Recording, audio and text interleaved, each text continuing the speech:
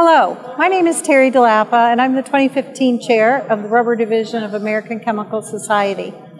This week we are hosting the International Elastomer Conference in the new convention center in downtown Cleveland. We're very happy to be here.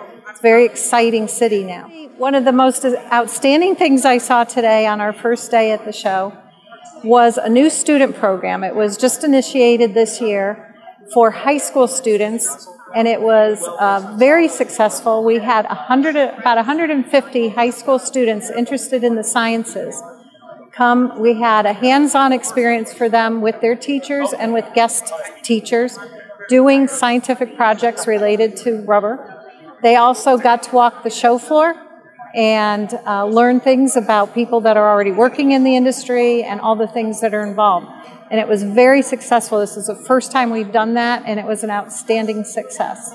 If you look at the demographics of the rubber industry, we are an aging group. And one of the goals that I've had and will continue to be sought after by the rubber division is to involve young people and get them interested in understanding why is rubber important, why is this industry important, and to learn that they can have a good career working in the rubber industry.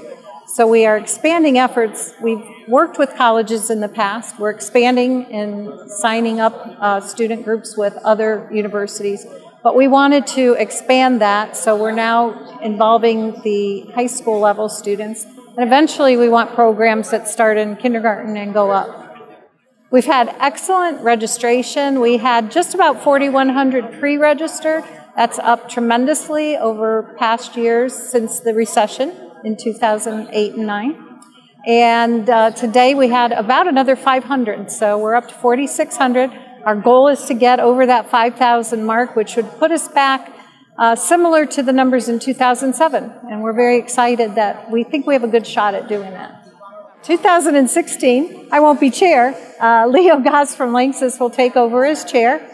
And in the biggest project that's going to happen for Leo is this year, one of my goals was to put a new strategic plan in place. That becomes initiated in January of 2016. So it'll be interesting to see the new programs that come forth to support those goals. We'll also be expanding the number of student chapters we have and having more activity with those people on the floor. So I'm looking forward to big things. We've already expanded this year on the show floor. We have 259 exhibitors. We had to, we had to expand the available space twice during the sign up process. I think that'll continue going into the next year.